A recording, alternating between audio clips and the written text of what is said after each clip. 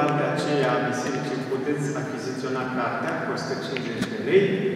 Părintele, dacă el poate da o binecuvântare sau un autograf, după care ne vom despărți cu nădejdea ca în sau și în această săptămână vom prinde putere și curaj să biruim toate ispitele și cursele acestui veac, ajungând până la capăt, la un sfârșit, pe parcursul acestei vieți pământești și vremelnice noastre, dincolo în Împărăția Lui Dumnezeu, cea cerească și veșnică a Preasfintei Trei. Amin. Eu vă mulțumesc, Părinte Sfântian, că mi-a dat posibilitatea seara aceasta, fiindcă acum fac de seama că sunt aproape 14 ani mai mult la pactul mai înainte de Luminius mai mult. Și am retrăit aici atât de frumoasă clipe și n-am adormit ca pe trei. Ce m-am ascultat? Urmărindu-mă și numai atâta găsiți să fac, că l-am văzut și pe Părintele Dositei Murar, până la Stavna, care a fost un om extraordinar în acela Și toți la oaltă și dacă mă gândiți numai să vă spun, o glumă călugărească. Erau la Slatina acolo, între călugările aceștia mulți care erau, erau și Părintele Arsenie, Papacioc și Dositei Murar de care vă spuneam, și mulți alții și era și Atanasie, Atanasie, Nu mai știu. eh, un călugăraș mai tânăr, eh, aia că nu vine nimic, și făceau ascultare. Aveau încălzire cu lemne și aveau ascultare câte doi, mergeau în toate chiliile și pregăteau, întâi curățeau sobele de jăratic, de cenușe, apoi venea altă echipă care pregătea prizătoarele și toate, și venea altă apoi care dădea drumul la foc să se încălzească în timp ce ceilalți părinți erau la alte scurtări sau la rugăciuni. Și într-o echipă era cu Părintele Arsenie Papacioc și cu Părintele Leon Antonie Plămădeanu. Și eh, mă chinuiește acum numele Părintele Atanas. Și s-au dus în urma celui care a pregătit eh, sobele pentru foc și ei știau că lucrau și în grădină au găsit un schelet de cățel sau pisică sau așa ceva. Și lumele călugărești bine iertate, cresc cu, cu rea intenții, dar frumoase. Ce le-a venit în gând?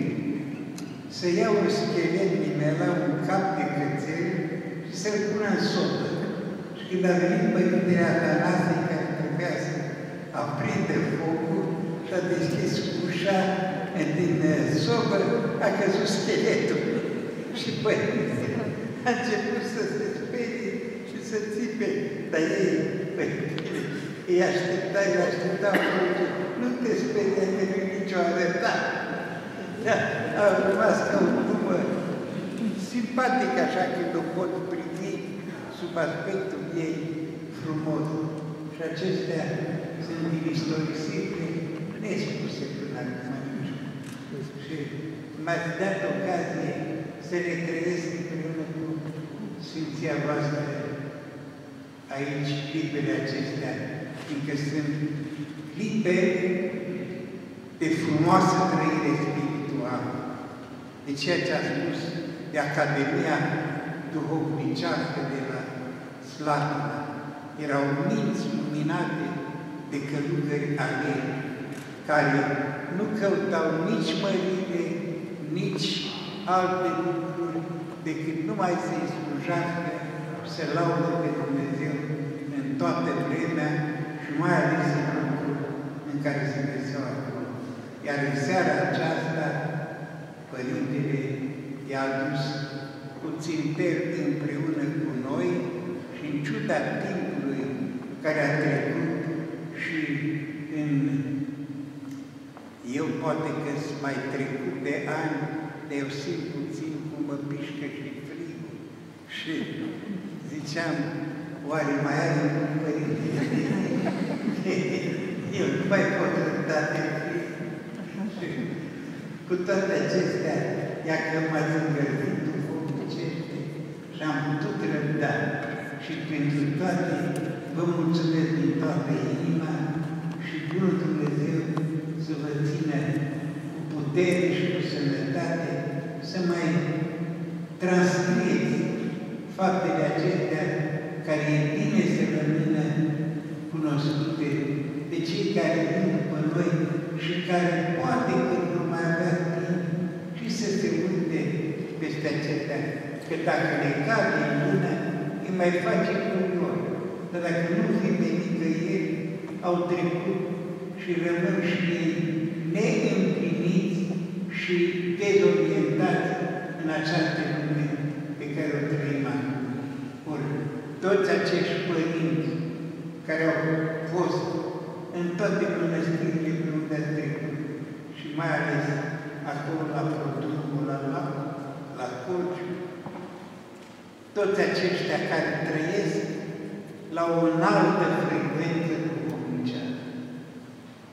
Dacă ar fi posibil să vină, să interesească și pe tinerii ăștia ai noștri de astăzi, care sunt atât de rătăciți și atât de bombardați de tentați de acestea care le vin, mai ales în apus, să ne apere Dumnezeu cu ale părinților acestora rugăciuni, fiindcă, așa cum spunea Părintele de aici de la biserică, m-a întrebat dacă am trecut pe la Crislop, acolo unde Părintele Arsenie e cel care își doarme locul de veci acolo. Și în vara aceasta am ridicat un monument în care am pe, pe peretele lui am așezat în, în pictură de mozaic chipul Părintelui Arsenie și chipul Episcopului Martir Nicolae Popovici.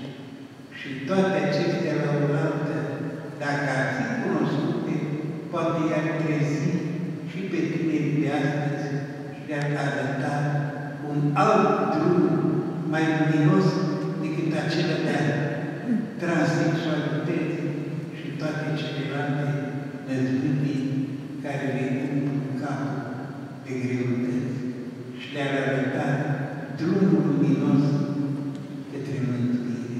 Și pentru aceasta vă mulțumesc din toate să vă dea Dumnezeu sănătate și frăților voastre care ați ascultat cu atâta răbdare, să vă dea Dumnezeu putere și viață și să fructificați ceea ce ați auzit și ce veți mai auzi din programul acesta minunat, minunat care cu ocrotirea Părintelui Pompiliu se desfășoară aici în Biserica Frăților voastre.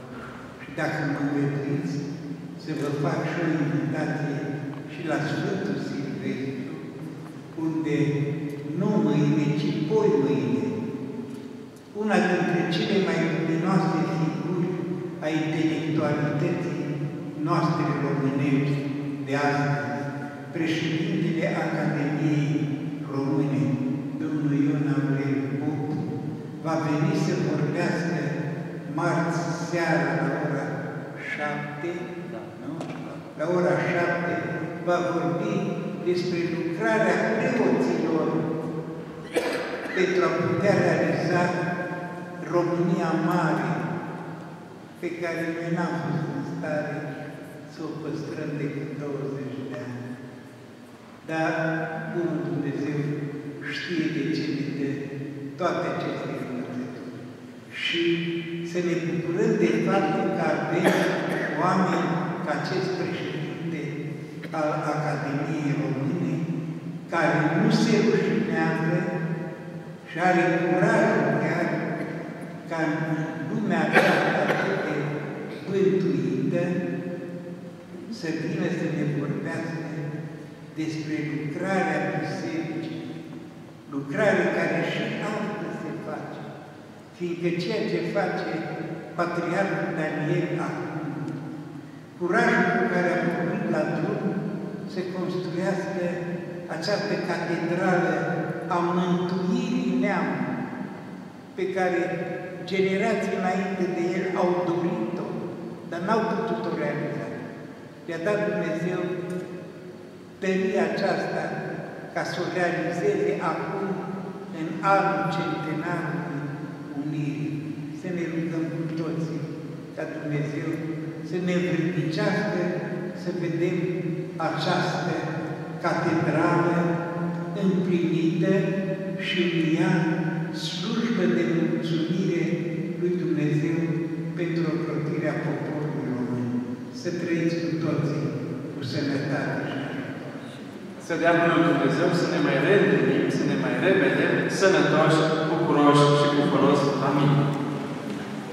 În numele Tatălui și al Fiului și al Sfântului Duh. Amin. Cu toții. Cu vie se adevărat să te fericit pe tine, Sfătoare Dumnezeu, cea pururea fericită și prea nevinovată și Maica Dumnezeului nostru, ceea ce ești mai cinstită decât herubimii și mai ferită fără de asemănare decât serafimii, care fără să trece pe Dumnezeu cuvântul ai născut, pe tine cea cu adevărat născătoare Dumnezeu, Mărim. Slavă Tatălui și Fiului și Sfântului Duh și acum și pururea și în veci vecilor. Amin. Doamne, miluiește, Doamne, miluiește, Doamne, miluiește, în numele Domnului Preacuvânt, Părinte, binecuvântați. Noi este Dumnezeu al Său har, să aibă de oameni, totdeauna acum și pururea și în vecii vecilor. Amin. Amin. Haideți să așezăm scaunele la loc, să